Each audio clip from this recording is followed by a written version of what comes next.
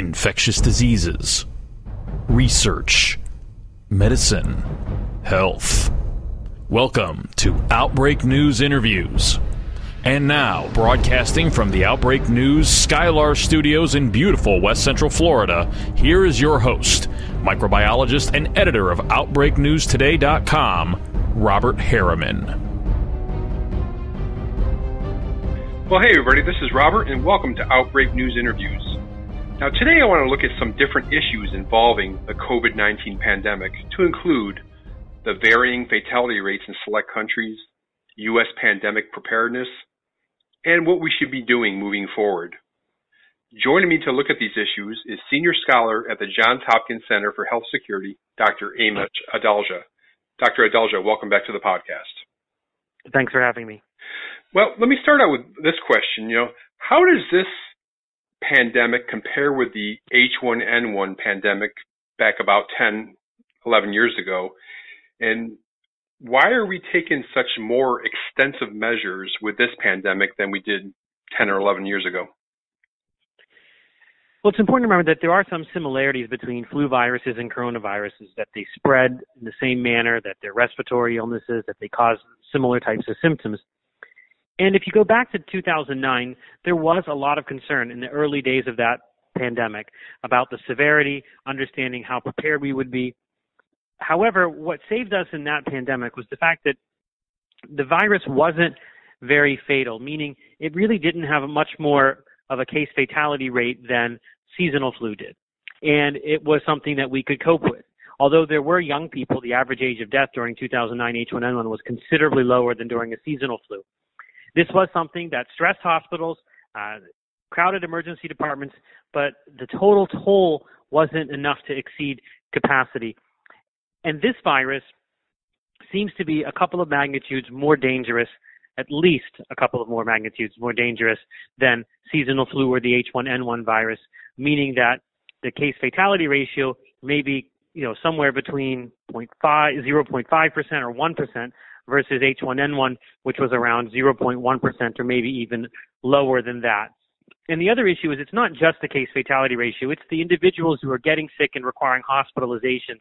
That percentage is what's causing hospitals to be worried about their capacity. And I think that's the main issue here. That's why we're responding is because the, the sheer number of people that will get infected by this, because it's a new virus, no community immunity, and the fact that so many of the people are going to require hospitalization that's what this that's what the scariest part of this uh, pandemic is.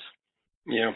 Um, now i wanted to ask about uh, some pretty big disparity in fatality ratios among some different countries and there are many examples but one that's most stark to me is the difference say between italy and spain.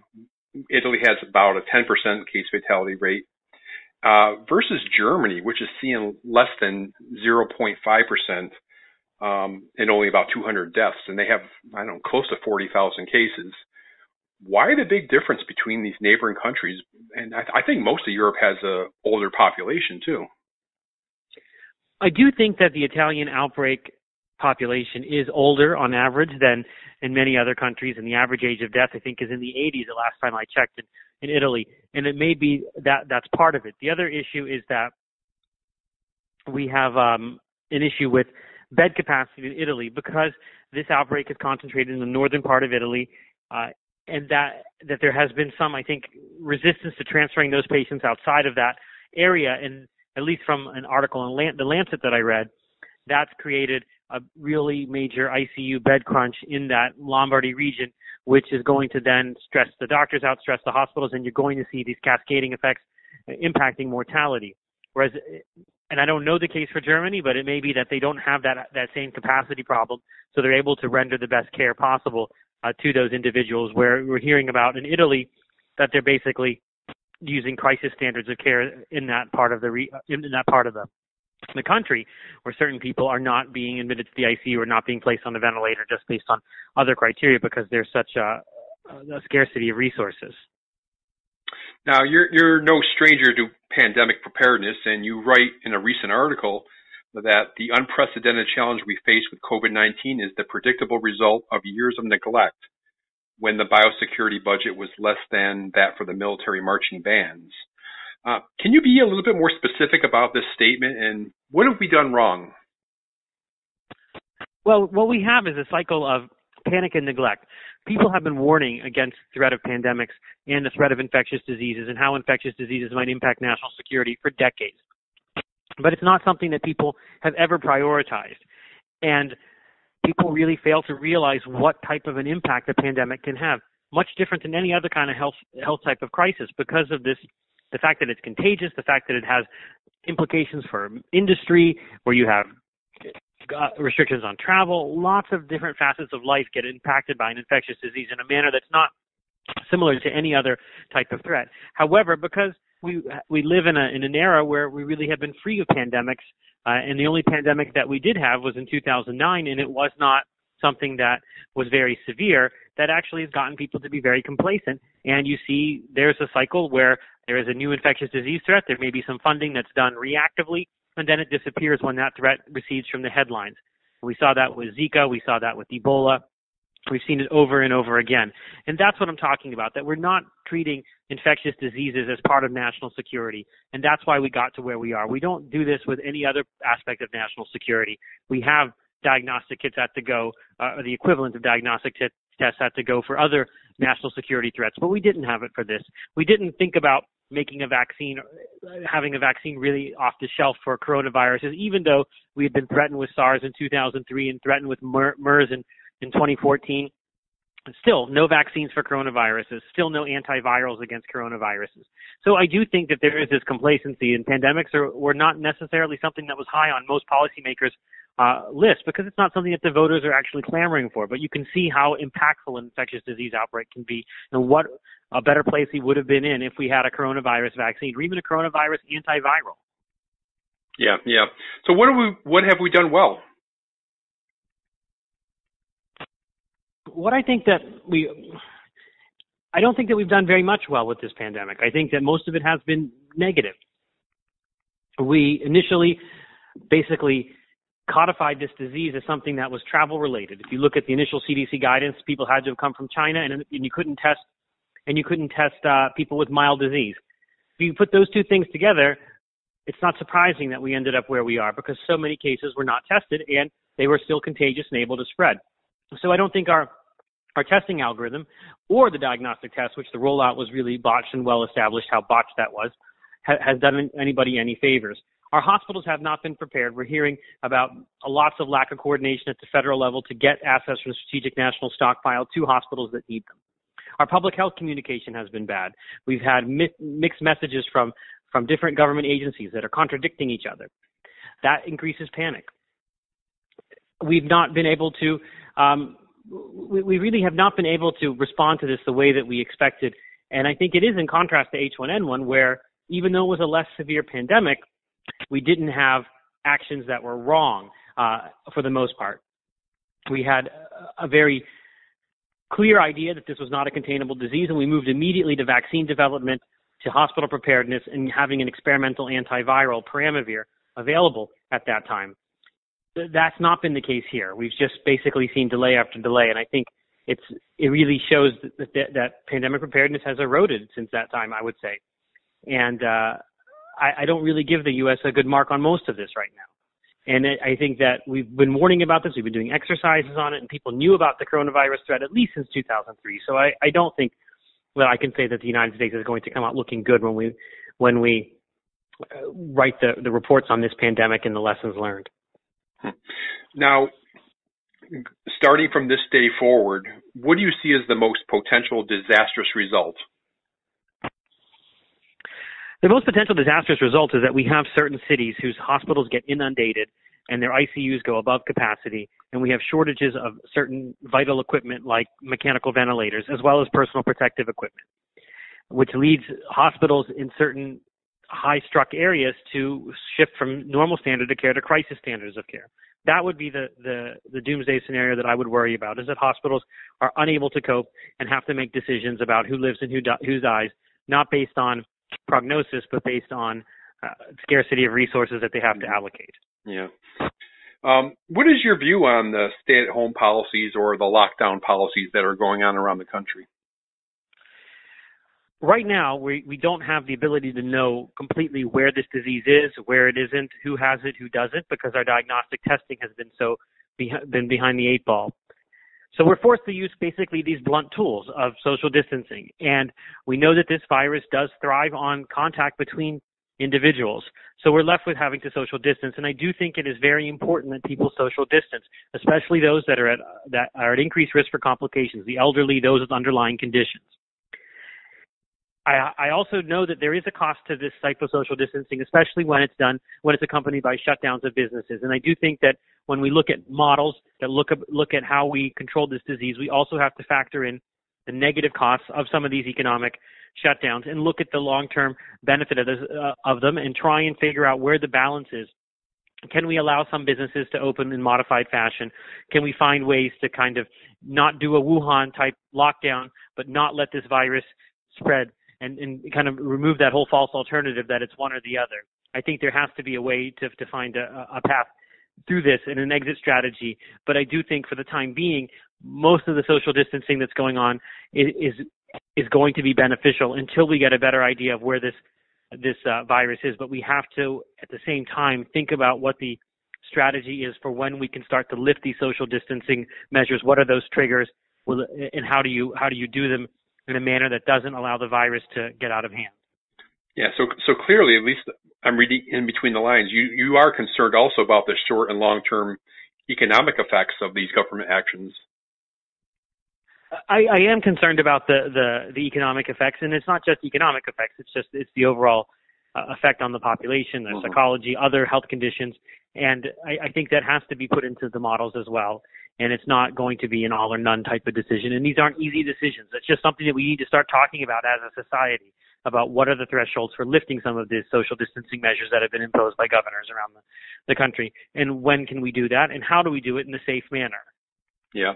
Now there was a Oxford study I think that came out very recently, and they were talking that based on their modeling, about half the UK they predict has already been infected, um, and a couple, at least a couple of European countries we're looking at going the herd immunity route.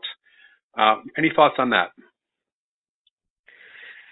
There's a danger of thinking about the herd immunity route in that there are going to be individuals who may end up having severe illness, especially if you cannot keep the people that you want to induce herd immunity and the young, healthy people away from those that are at higher risk. And I don't know how you keep those two compartments completely separate. So you have to do the, do this in a very, a very um, I guess, fine tuned manner so that you don't end up creating more of a problem. And remember, even the younger people, there are there is going to be some significant portion of them that require hospitalization and some that may die. So you may not blunt the full force of the of the pandemic by doing that.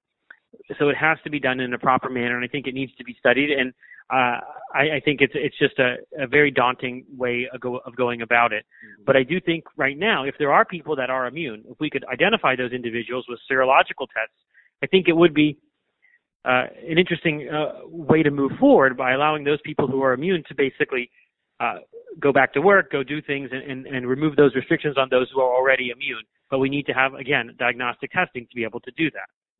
But if this if this modeling is correct, and I don't know if it is or not, nobody knows. Um, if half of the UK is already infected, is it already? I mean, do you think it's just like you know, let's let it fly then?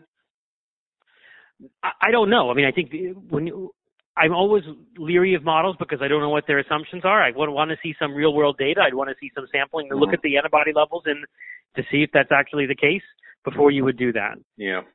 Okay. Now, in a recent article that you wrote, you you mentioned five measures we should be taking to deal with the pandemic until a vaccine is developed. Um, can you elaborate on these five measures? Sure. I think that the number one thing to remember is hospital preparedness has to be paramount. That's the big thing that we're dealing with right now.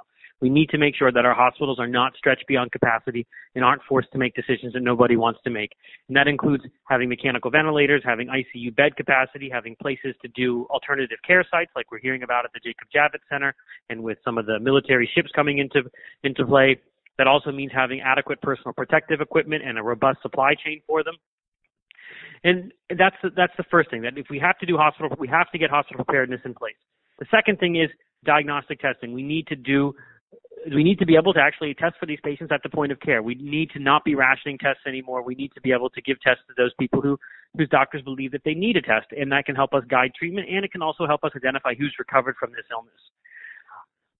We we also need to think about expanding our healthcare workforce. We need to remove restrictions on physician assistants, nurse practitioners, uh, paramedics, pharmacists. All of those people can help us reinforce our healthcare workforce in order to uh, to allow it to thrive. There, there's also going to be needs to to have access to some of the experimental drugs, and we do have programs like Right to Try. I think that's something that would be important to think about mm-hmm. using when a patient and their physician believes that they might benefit from a drug that's under clinical trials. Having ways to get those drugs and, and to use them. And the fifth thing was really that until some of these things are in place, that we're going to need to continue to do voluntary social distancing.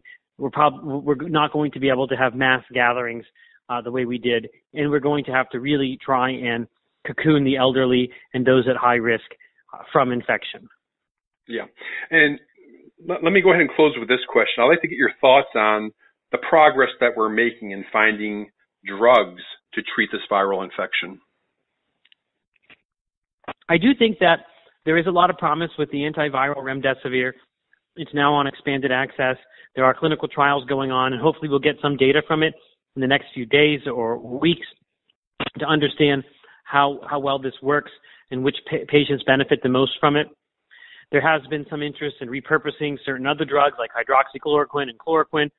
It's important to remember that that needs to be studied in a randomized controlled trial or part of a hospital-based protocol, not something to self-experiment on your own. There are other drugs as well. There's a, anti-influenza drug marketed in Japan called favipiravir that needs to be studied appropriately as well. And then some compounds that Emory uh, University has made that I think also are worth worth looking at. And then there are those immune modulating drugs, some of which we use for cytokine release syndromes that happen with uh, oncology patients after they get CAR T therapy. Those also may have a role in some of the severely ill patients who are experiencing heavy immune uh, dysfunction from the virus uh, that's causing a lot of the damage. So I think all of those are, are, looking good. But remember, those are not panaceas, and those are going to be for hospitalized patients. Mm-hmm. We really need to have a vaccine to be able to control this. Well, let me ask you one last question. Is there any reason for any of us to think that, say, in 2022, there's a, there's a vaccine available, and the public isn't going to treat it like the flu vaccine, and only a, a small percentage actually get the vaccine? There is a chance that people are not going to, to uptake the vaccine. And we've seen vaccine uptake erode all over the world. And I think that that is a concern. Hopefully, people have seen the severity of this pandemic and they will think twice about it. But remember, back in 2009, the H1N1 vaccine had one of the lowest uptakes of any year, any flu vaccine. Mm-hmm. So even despite the fact that there was a pandemic in 2009, it didn't really influence vaccine rates for the positive. So hopefully, people would be amenable to taking this vaccine because it's the only way that we're going to be able to control this this virus. Sure. Again, a big hopefully. And uh, I want to thank you, Dr. Amesh Adalja, for sharing your time and expertise. Thank you, sir. Thanks for having me.